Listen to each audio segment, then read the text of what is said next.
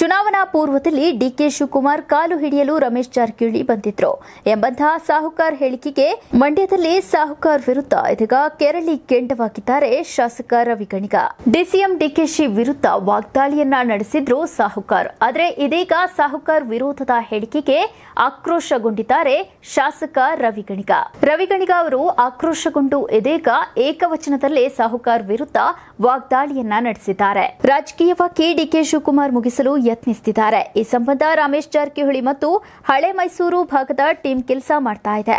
ಚುನಾವಣಾ ಪೂರ್ವದಲ್ಲಿ ಡಿಕೆ ಶಿವಕುಮಾರ್ ಅವರ ಕೈಕಾಲು ಹಿಡಿಯಲು ರಮೇಶ್ ಜಾರಕಿಹೊಳಿ ಬಂದಿದ್ರು. ಕಾಲು ಹಿಡಿಯಲು ಬಂದಿದ್ದನ್ನ ನಾನು ಕಣ್ಣಾರೆ ಕಂಡಿದ್ದೇನೆ. ರಮೇಶ್ ಜಾರಕಿಹೊಳಿ ಅಧಿಕಾರ ಕಳೆದುಕೊಂಡು ಹುಚ್ಚನಂತಾಡುತ್ತಿದ್ದಾನೆ ಎಂದು ಬಿಜೆಪಿ ಶಾಸಕ ರಮೇಶ್ ಜಾರಕಿಹೊಳಿ ವಿರುದ್ಧ ಶಾಸಕ ರವಿಗಣಿಗ ಏಕವಚನದಲ್ಲಿ ವಾಗ್ದಾಳಿಯನ್ನ ಮಾಡಿದ್ರು. ಮಂಡ್ಯದಲ್ಲಿ ಸುದ್ದಿಗೋಷ್ಠಿ ನಡೆಸಿ ಮಾತನಾಡಿದ ಅವರು, ಕಾಂಗ್ರೆಸ್ ಪಕ್ಷದ ಒಕ್ಕಲಿಗರ ನಾಯಕತ್ವ ಮುಗಿಸಲು ಹೊರಟಿದ್ದಾರೆ ನೂರು ಜನ ರಮೇಶ್ ಜಾರಕಿಹೊಳಿ ಬಂದ್ರು ಡಿಕೆ ಶಿವಕುಮಾರ್ ಅವರನ್ನ ಟಚ್ ಮಾಡಲು ಆಗಲ್ಲ. ಏಳು ಜನ್ಮ ಎತ್ತಿದ್ರು ಡಿಕೆ ಶಿವಕುಮಾರ್ರನ್ನ ಮತ್ತೆ ಜೈಲಿಗೆ ಕಳಿಸಲು ಆಗಲ್ಲ ಎಂದರು.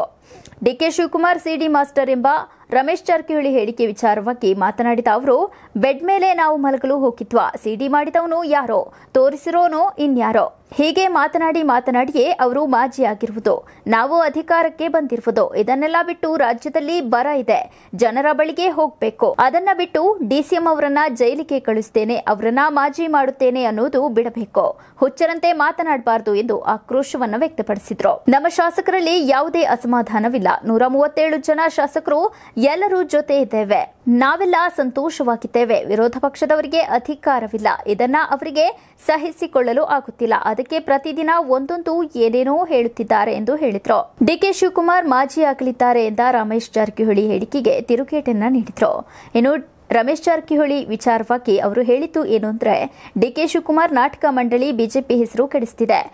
DK and company operation Kamala ಮಾಡ್ತಿದ್ದಾರೆ ಅಂತಿದ್ದಾರೆ. ಆಪರೇಷನ್ ಕಮಲದ ಬಗ್ಗೆ ನಾವು ಚಕಾರ ಎತ್ತಿಲ್ಲ. ರಾಜ್ಯದಲ್ಲಿ ಆಪರೇಷನ್ ಕಮಲ ಆಗಲು ಸಾಧ್ಯವಿಲ್ಲ.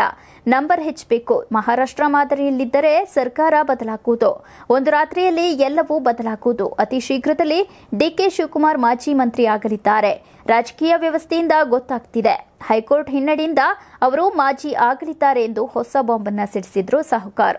ಇದೇ ವಿಚಾರವಾಗಿ ಸಾಹುಕಾರ್ ವಿರುದ್ಧವಾಗಿ ಇದೀಗ ಶಾಸಕ ರವಿ ಆಕ್ರೋಶವನ್ನು ಆಕ್ರೋಶವನ್ನ ವ್ಯಕ್ತಪಡಿಸಿದ್ದಾರೆ. ಇದಾಗಿತ್ತು ಈ ಹೊತ್ತಿನ ವಿಶೇಷ. ಮತ್ತಷ್ಟು ವಿಶೇಷ ಸುದ್ದಿಗಳೊಂದಿಗೆ ನಾನು ನಿಮ್ಮ ಮುಂದೆ ಬರ್ತೀನಿ. ಅಲ್ಲಿವರೆಗೂ ನೋಡ್ತಾ ಇರಿ ಕರ್ನಾಟಕ ಟಿವಿ. ಇದು ಕನ್ನಡಿಗರ ಧ್ವನಿ.